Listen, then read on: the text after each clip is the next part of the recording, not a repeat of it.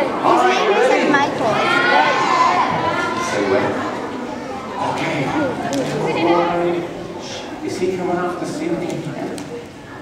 Buenos dias, boys and girls. How is everyone at Vacation Bible School today?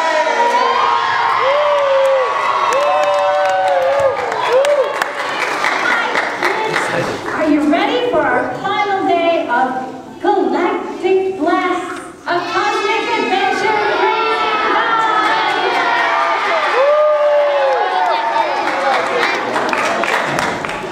Watch now. I've got this special science and technology way of down softly. Ah!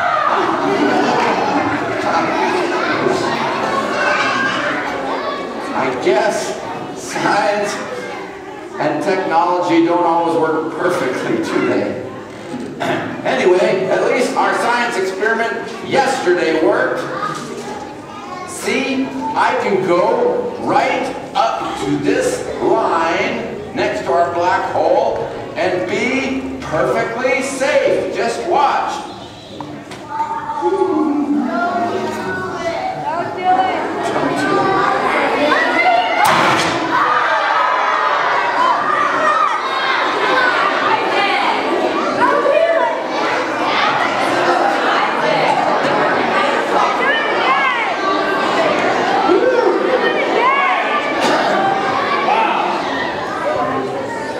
Wow, this is really odd. And not to mention painful. No, I mean the event horizon seems to have expanded during the night.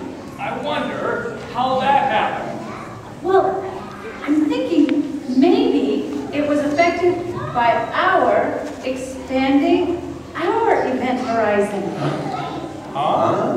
Well, you know, we all put our arms around each other yesterday to widen our event horizon so that we could be more like Jesus, affecting more and more people by sharing Jesus' love with them. Well, let's find out. We'll try another experiment. How? Well, kids, everybody, put your arms out again and hold each other and think about being like Jesus, who had a huge event horizon.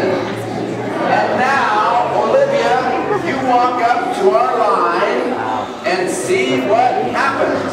Oh, no, no, no, no. I'm staying right here.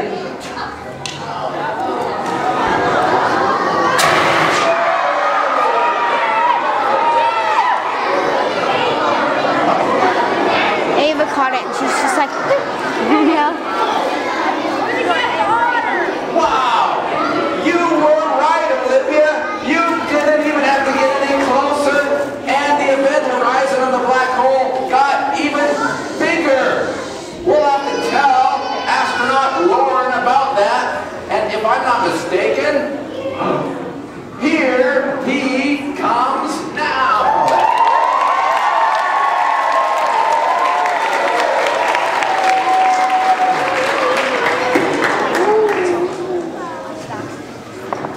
Buenos dias, boys and girls. How is everybody today? Man, he really is getting into the spirit of these shows, isn't he? Say, Loren, I have a question for you. Shoot. When you were in space, did you ever pray? Of course. It says, and we know that God is everywhere, including in our head. And when we think, we're talking to God, and that's praying. It says in the Bible, pray without ceasing. That means without stopping. So we don't have to close our eyes and fold our hands to pray. We're praying every time we think. Well, do you think it makes a difference how close up we are? I beg your pardon.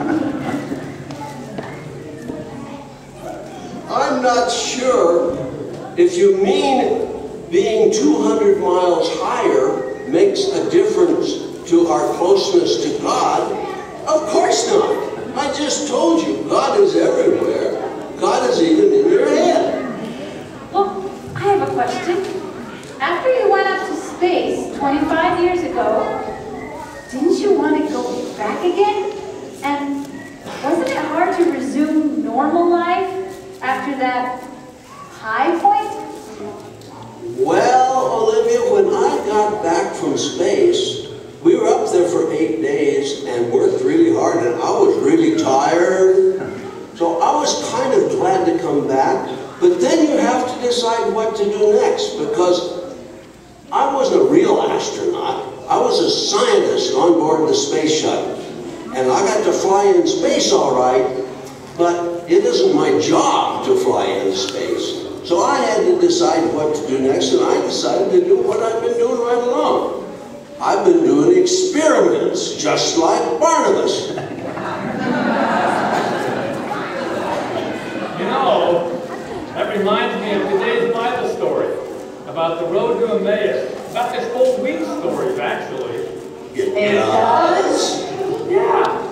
So what is normal life? Anyway, was the woman at the well's life or the blind man's life before meeting Jesus, was that normal?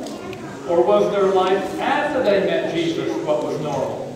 It kind of depends on your point of view. Ah, I think it must be the new normal. Just like we have a new expanded event horizon around here now. Well, whether it's normal or not, we know it's what Jesus wants for all of us.